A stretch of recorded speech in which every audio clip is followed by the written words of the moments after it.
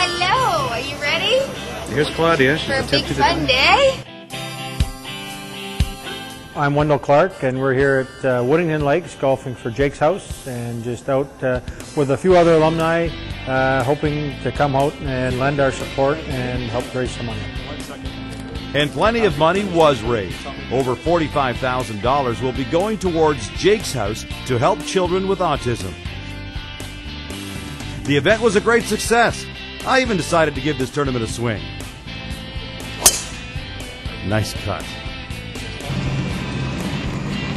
A lot of people from the community come together for events like this, so it's nice to see that people can change their focus from the daily grind at work to, you know, dealing with a, a good cause and looking after our children.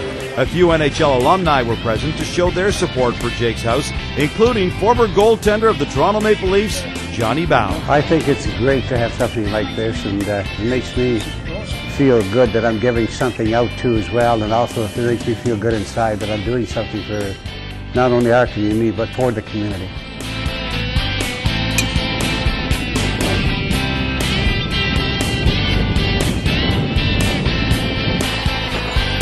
It's actually something we, we, we all should be aware of, and, and uh, it, it's, for me, it's good to know, and, and I'm glad I do know that, and I'm glad uh, we can help out with the NHL alumni.